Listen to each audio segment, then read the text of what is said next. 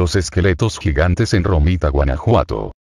Hace tiempo, en el año 1995 para ser un tanto precisos, se encontraban en la ciudad de Romita, Guanajuato, durante la construcción de lo que hoy es una casa de la cultura, unos esqueletos de una rareza peculiar, cabe mencionar que antes, en 1950, en el rancho de Chapingo de la misma localidad, se encontraron también muchas vasijas y figuras de refinada elaboración. En otros lugares de Romita también han existido otros descubrimientos, pero desafortunadamente muchos fueron a dar a los montones de escombro.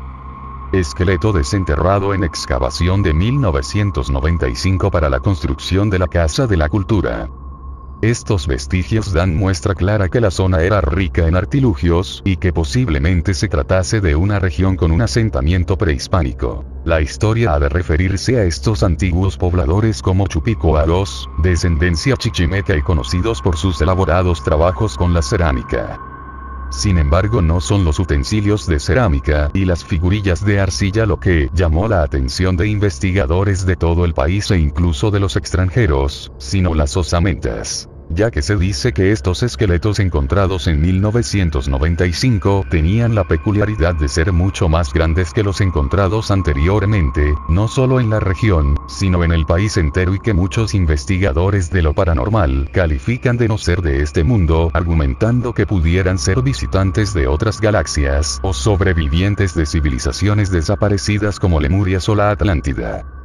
Lo real es que de acuerdo a la forma de su entierro, tuvieron que ser considerados como de alto nivel entre su comunidad, seres superiores, además de que, como ya se mencionó, los esqueletos encontrados en esta localidad representan los de más alta estatura en nuestro país, pues rebasan los 2 metros con 45 centímetros, hecho que llamó mucho la atención ya que los antiguos pobladores de estos lugares eran de muy baja estatura. Teóricos de lo paranormal indican que seres de otros mundos llegaron en tiempos remotos.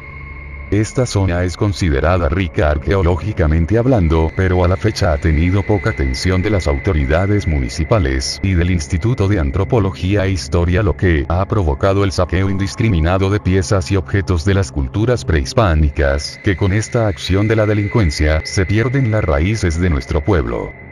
Así lo manifestó el profesor en artes plásticas y escultura Tito Serrano quien fue el partícipe directo de un gran descubrimiento durante los trabajos de excavación para la construcción de la Casa de la Cultura de esta localidad y que viene a revolucionar algunas teorías sobre las razas que poblaron este sitio. Esto fue el descubrimiento de siete esqueletos, que presentaban características especiales en la forma de estar sepultados en forma de los Chacmool de Yucatán en posición fetal con la cabeza recargada sobre vasijas como era la costumbre de nuestros antepasados otomíes y chichimecas que habitaron estos lugares.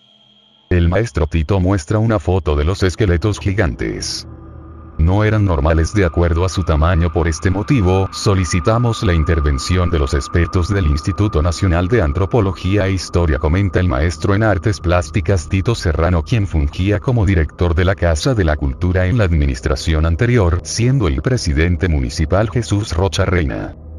Fue precisamente durante las excavaciones para la construcción del nuevo edificio de la Casa de la Cultura, cuando los trabajadores avisaron del hallazgo a sus superiores, por lo que los trabajos fueron suspendidos mientras el INA realizaba las investigaciones. Afortunadamente el maestro Tito Serrano logró medir las osamentas por lo que determinó que los siete esqueletos eran de igual estatura todos, medían 2 metros con 45 centímetros, y el cráneo tenía la forma de una bombilla y con las cavidades oculares demasiado grandes.